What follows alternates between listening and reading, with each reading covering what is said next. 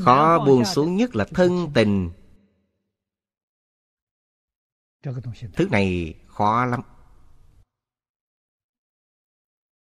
Phải thật sự thực hiện Thật sự mong liễu sanh thoát tử Thoát tam giới trong một đời này Thì phải bắt đầu từ đâu? Trước hết phải nhạt bớt thân tình. Nhạt bớt chẳng phải là bất hiếu với cha mẹ. Nếu bất hiếu thì quý vị đã phạm lỗi mất rồi Quý vị phải thật sự thực hiện đệ tử quy Cảm ứng thiên Thập thiện nghiệp Tuy thi hành nhưng lại chẳng chấp trước Tâm địa thanh tịnh Chẳng nhiễm mảy trần Bên ngoài thực hiện vô cùng chu đáo Đó là gì? Bên ngoài thực hiện vô cùng chu đáo Nhằm phổ độ chúng sanh Nêu gương tốt nhất cho người thế gian Bên trong thanh tịnh chẳng nhiễm mảy trần. Đấy là nâng cao linh tánh của chính quý vị. Mỗi ngày đều tương ứng với thế giới cực lạc. Tương ứng với A-di-đà Phật. Quý vị thấy Pháp xuất thế gian và Pháp thế gian Có cùng một thể À, Ta xử sự đãi người tiếp vật Sinh sống, làm lụng Chẳng khác gì cả khác.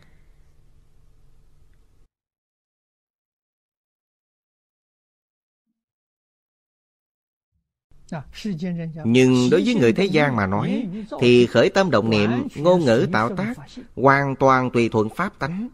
Điều này trọng yếu. Luân lý đạo đức Đều do tánh đức tự nhiên lưu lộ.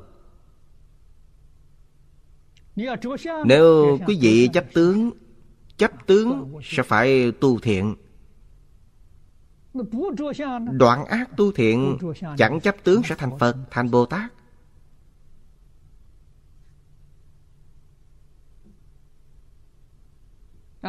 Tuy chẳng chấp tướng Nhưng trọn chẳng lìa tướng Mọi người mỗi ngày đều xem tivi. Hãy nghĩ tới tỷ dụ của tôi.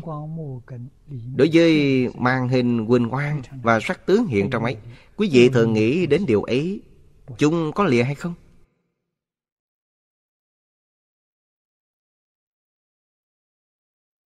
Chẳng lìa chẳng tức.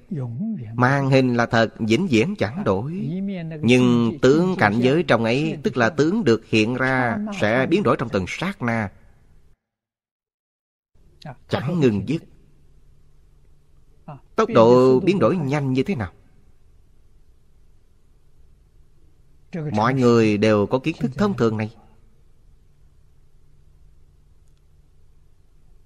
Chúng ta hình dung nó biến đổi trong từng sát na. Chẳng phải là từng giây một. Nó biến hóa trong từng phần trăm giây. Một phần ngàn giây Một phần dạng giây Nhưng vũ trụ là tướng được hiện giống như hình ảnh hiện ra trên màn hình. Tốc độ nhanh như thế nào? Di Lạc Bồ Tát cho chúng ta biết Trong một giây biến hóa bao nhiêu lần? Một ngàn hai trăm tám mươi triệu lần Nguyên văn trong kinh điển là, Trong một cái khẩy ngón tay, Có 32 ức trăm ngàn niệm. Trong một cái khẩy ngón tay có bao nhiêu? 32 ức trăm ngàn niệm. Trăm ngàn là 10 dạng 32 ức nhân với 10 dạng là 320 triệu. Trong một khải ngón tay có 320 triệu. Chúng ta khải ngón tay thì trong một giây có thể khải bốn lần. Tôi tin có người còn khải ngón tay nhanh hơn tôi. Khải tới 5 lần sẽ là 1.600 triệu.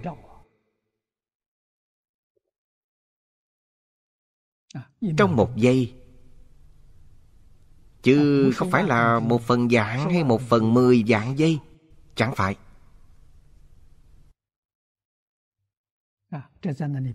Biến hóa ở trong ấy cứ một niệm là một tướng được hiện. Niệm trước vừa diệt, niệm sau lại sanh. Do vậy chúng ta thấy những hiện tượng này thật sự là gì? Là tương tự tương tục tướng. Chúng chẳng phải là thật sự liên tục Mà là tương tự liên tục. Chúng biến hóa. Nghe theo ai chỉ huy Trong kinh, Đức Phật đã dạy Hết thảy các pháp sanh từ tâm tưởng. Tâm tưởng chỉ huy chúng. Tâm tưởng thiện thì các tướng được hiện sẽ là lành.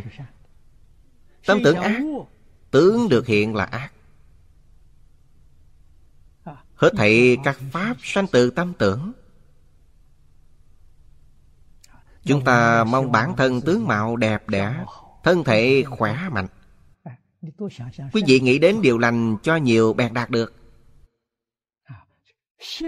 Bởi lẽ tâm thái quyết định tướng mạo và sức khỏe của chúng ta. Tâm thái chứ chẳng phải thứ gì khác. Hoàn cảnh sống của chúng ta Tốt hay xấu Cũng tùy thuộc vào tâm thái Nếu mỗi cá nhân trong các cư dân trên địa cầu Đều nghĩ tới thập thiện nghiệp đạo, Địa cầu này sẽ chẳng khác gì thế giới cực lạc Vì sao? Thích Ca Mâu Ni Phật đã nói, Vì sao Tây Phương cực lạc thế giới tốt đẹp như vậy? Toàn là những người thượng thiện nhóm hợp một chỗ Cư dân bên đó nghĩ tưởng những điều thượng thiện. Nói những lời thượng thiện, Làm những chuyện thượng thiện. Nguyên nhân là như vậy đó. Hiện thời địa cầu của chúng ta rắc rối quá. Hiện nay chẳng nói đến tai nạn cũng không được. Tai nạn nhiều quá.